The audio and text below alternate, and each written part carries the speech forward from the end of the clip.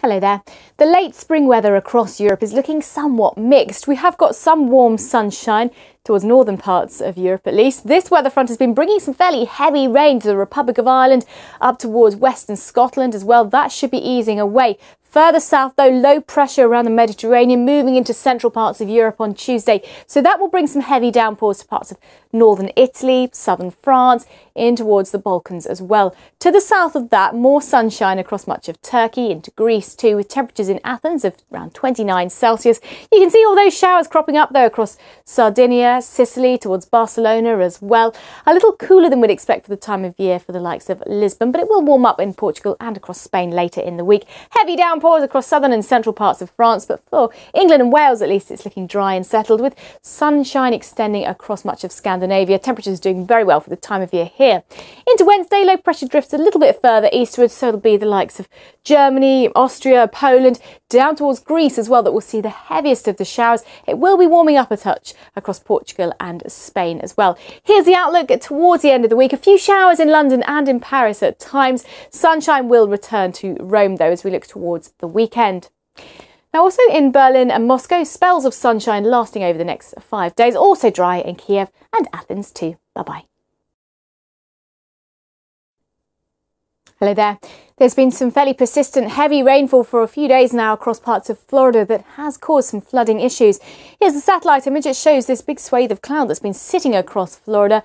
Other southern and eastern states also seeing quite a bit of cloud, and we will continue to see some fairly heavy downpours across the likes of Florida, Georgia, up towards the southern Great Lakes as well during the next 24 hours or so. Potential for a little bit more flooding for some of these eastern states. For central and western parts of North America, it's a scattering of showers across the Great Plains and the Rockies as well. Mostly dry for southern parts of British Columbia. We've also seen some heavy rain and some flooding. We will see some rain and some hill snow a little bit further north. Vancouver looks dry, 67 Fahrenheit here on Monday. Largely dry right down the west coast as well, although inland California may well see a few sharp showers, particularly over the Sierra Nevada. Here's the outlook then over the course of Tuesday and into Wednesday as well. Dry and sunny for Vancouver and Seattle, slightly cloudier for San Francisco and LA as well. And it's a dry day for Montreal and New York. In fact, temperatures in Montreal a little warmer than they have been. We've had a cold spell of weather for the north and the east of Canada. Sunshine for New York, but as we move our way further south towards parts of Texas, down towards Florida, those heavy showers and thunderstorms are set to continue. In Montreal, then, a shower should clear away to leave a dry day for Wednesday. A similar picture in New York. Bye bye. Hello there. We've got some heavy rain in the forecast across western parts of the Caribbean with the potential for possibly a tropical cyclone to form later on in the week, but that's something we're keeping it quite a close eye on. Further south across South America, then, the heaviest of the rain during Monday will be across the north of the continent, particularly for Colombia, northern parts of Ecuador, Venezuela as well. It's drier for Paraguay into southern parts of Brazil as well. But if we start off further north, you can see those heavy showers and thunderstorms across Colombia in towards northern parts of Brazil. Moving our way further southeastwards, it's dry down towards Rio de Janeiro, but temperatures to the south of that a little cooler than we'd expect, particularly for Uruguay, across the border into Argentina as well, 17 degrees in Buenos Aires. Heading further south, then we will see some windy and at times wet weather across parts of southern Argentina and southern Chile as well. So here's the outlook then in Rio de Janeiro. A few showers during the middle part of the week. Plenty of sunshine in Buenos Aires, but temperatures not, still not doing great for the time of year. A few showers across central and southern parts of Mexico, but the heaviest of the rain will be concentrated a little bit further east, just off the coast of the Yucatan Peninsula, particularly also for Cuba, down towards Nicaragua and Honduras. It's here that we're likely to see some flooding impacts. Drier weather though further east across the Caribbean. Here's the outlook over the next five days. Plenty of heavy showers and thunderstorms set to stick around in Havana. Bye for now. Hello there. The weather across New Zealand is looking fairly unsettled, stormy and rather cold for the time of year too. We'll take a look at that in just a moment. First off, a little bit further north, here's the satellite image across Indonesia. You can see these big areas of shower cloud where we've had some heavy downpours. More of those to come, but the rain shouldn't be too persistent here. It's further north that we've got more persistent, heavier rain down to this slow-moving front, which is stretching across eastern parts of China, clearing Beijing later on Tuesday, heading towards Seoul, and then later on to Japan through the middle part of the week.